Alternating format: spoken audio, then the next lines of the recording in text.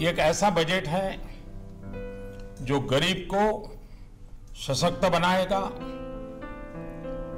बुनियादी ढांचे को और मज़बूत भी बनाएगा, गति भी देगा, हर किसी की उम्मीदों को अवसर देगा, अर्थतंत्र को एक नई ताकत देगा, नई मजबूती देगा और विकास को बहुत तेज़ी देगा।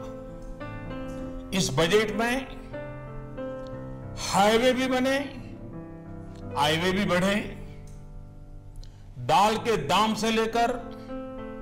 डेटा की स्पीड तक रेलवे के मॉडर्नाइजेशन से मॉडर्नाइजेशन से लेकर के सरल इकोनॉमिक निर्माण करने की दिशा में, शिक्षा से लेकर के स्वास्थ्य तक,